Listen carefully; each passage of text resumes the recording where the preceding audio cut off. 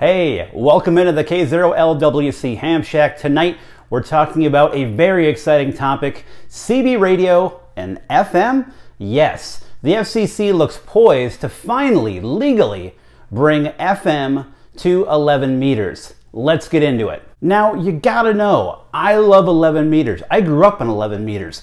A lot of people in the ham community don't want to say that they were ever on the chicken band. Well, I grew up on that in the 90s. Uh, we had a base station, we had it in the car. I mean, this is before, you know, cell phones were readily available. So CB really was my method of communication with my family.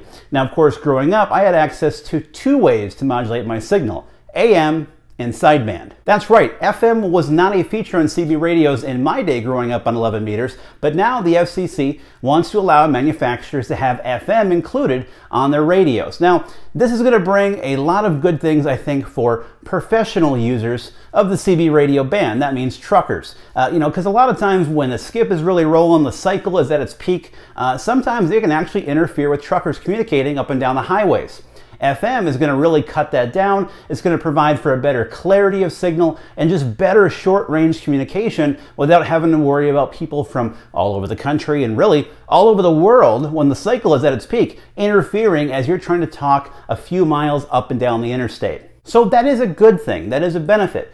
But it seems a little strange that they're bringing FM in now, and I think it's going to be a mess for a while. Let me tell you why. So the FCC goes out and passes this new change to Part 95. All of a sudden now we have FM radios being sold at every truck stop in the country. What's going to happen? Well, people are going to buy new radios, those that are the most frequent users of 11 meters, and they're going to start using them. And of course they're going to want to use the new features, right? A new way to modulate your signal. So you're going to have FM mixing with AM on the same 40 channels 11 meters has had for the longest time.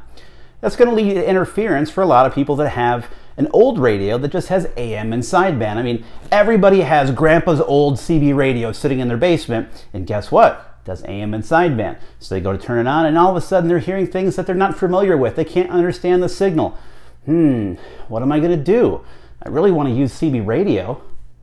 I wonder what they're going to do. And that is where it gets really interesting because it's really not the FCC that really wants to do this. Who actually wanted this to occur? Who lobbied the FCC to make it happen? Well, that's simple. Cobra Electronics. Yes, Cobra is the one that petitioned the FCC to make this change happen. In fact, it's been three years in the making. In 2017, they filed this petition for reconsideration. That's how long this has been moving through the bureaucratic wheels of government. Let's take a look and see what they actually said on their petition to the FCC. Now here's what Cobra says in their petition. Allowing FM capability in radios would allow users to enjoy the benefits of FM if they so choose, while ensuring every new radio sold could communicate with all the existing radios in the field. Cobra also suggests that an FM option will benefit the CB radio user, both professional and recreational, in that it will provide better quality and clarity of communication. Now, Cobra didn't go with this lobbying alone. They enlisted the help of one of their friends in the industry to make this happen. Yes, they went to President Radio, who also commented on this petition with Cobra. President Electronics USA says they concur that AM and FM each have unique advantages and together provide a better user experience for CB radios. Okay, so FM becomes a thing, people pull out their radios, and they're starting to hear unintelligible signals that they can't understand. They get frustrated. The channels that they've always used now have some signal that they can't even understand what's being said. I wonder what they're going to do. Oh, that's right. They're going to go buy a new radio. And they're probably going to buy a Cobra, at least here in the United States. Maybe a president, too. That is what is behind this change. Nothing really has changed in 11 meters in a long time. In fact, the last time the FCC considered Part 95 changes, they decided not to change and include FM, which led to this petition in the first place many years ago. This is all about sales. It's all about selling new radios, some kind of new marketing to spur sales for Cobra, President, and others that are going to have to adjust their radios to include FM, which means more product out the door, more revenue in the bank. Okay, okay, all fine and good.